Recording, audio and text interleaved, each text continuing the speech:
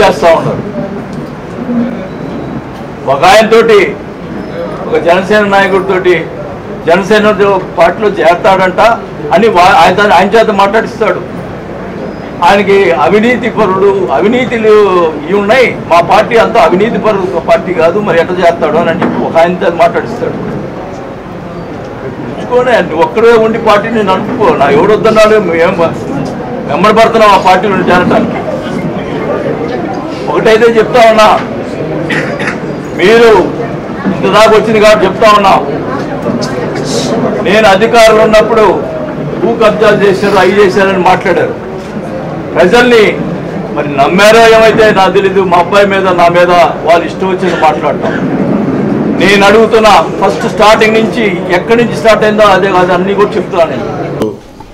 జనార్దన్ గారు నాకు నా చేత ఏదో మాట్లాడించినట్టు ఆయన బయటికి చెప్పటం చాలా హాస్యాస్పదంగా ఉంది.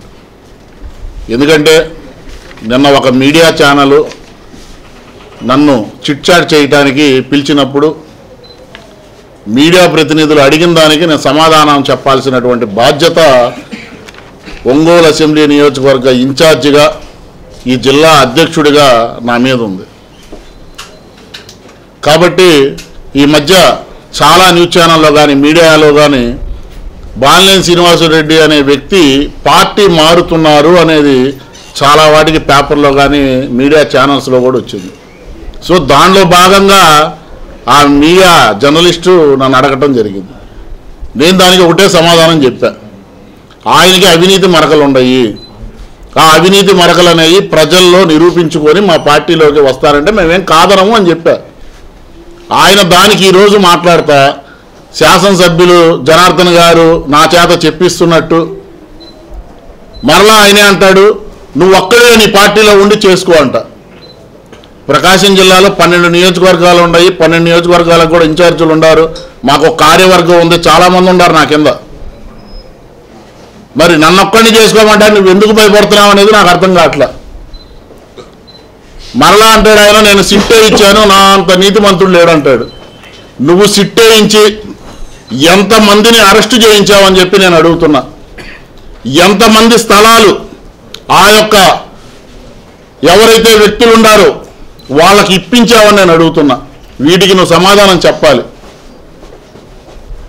మీ కార్యకర్తల మీద దాడులు చేస్తున్నావు అంటున్నాం ఏదో ఎక్కడో ఏదో వాళ్ళ సొంత తగాదా వాడు జరిగింది.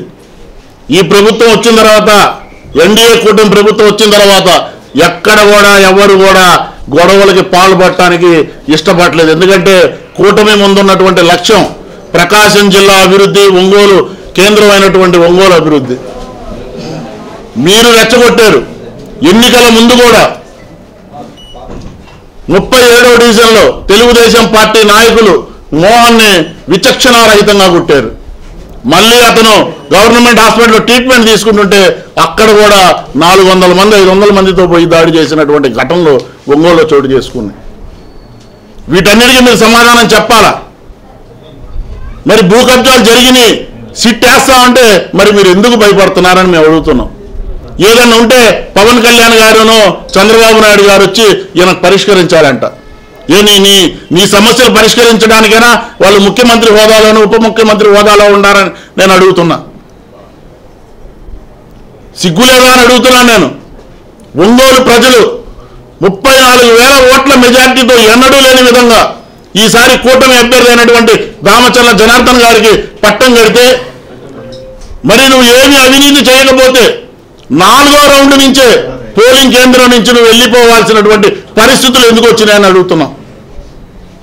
మరలా వెళ్ళావు. ఎన్నికల కమిషన్కి పిటిషన్ పెట్టావు.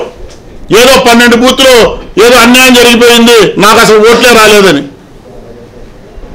మరి ఏమైంది ఆ పన్నెండు బూతులు? సరే పోనీ ఆ పన్నెండు బూతులు బూత్కి ఒక వెయ్యి ఓట్లు వేసుకుందాం. అలాగే పన్నెండు వేల ఓట్లు మొత్తం నీకు వచ్చిన ఇరవై రెండు వేల మెజార్టీతో జనార్దన్ గారు గెలిచారు మరి. మరి నీ కొడుకు చేసినటువంటి ఘనకార్యాల వల్లే కదా ఇవన్నీ ఇవన్నీ మర్చిపోయి నువ్వు మా మీద కనుక అవాకులు చవాకులు పేలిస్తే జనసేన పార్టీ చూస్తూ ఊరుకోదని చెప్పేసి హెచ్చరిస్తున్నాం.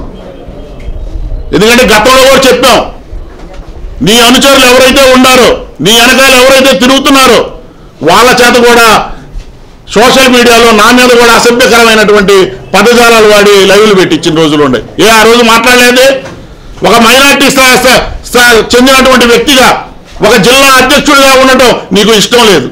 ఇక్కడ నీ మీద పోటీ చేయటం నీకు ఇష్టం లేదు. దీని మీద నువ్వు మాట్లాడు. అంతే తప్పితే నీ అవినీతిని కప్పిపుచ్చుకోవడానికి నువ్వు పార్టీలు మారడానికి సిద్ధంగా ఉన్నా తీసుకోవడానికి మేము సిద్ధంగా లేమన్నాం. అది తప్పు కాదు చెప్పు.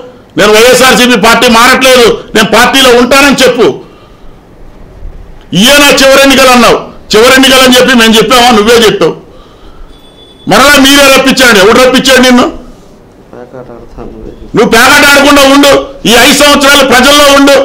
ప్రజా సమస్యల మీద పోరాడు. ఎవడొద్దన్నాడు నిన్ను?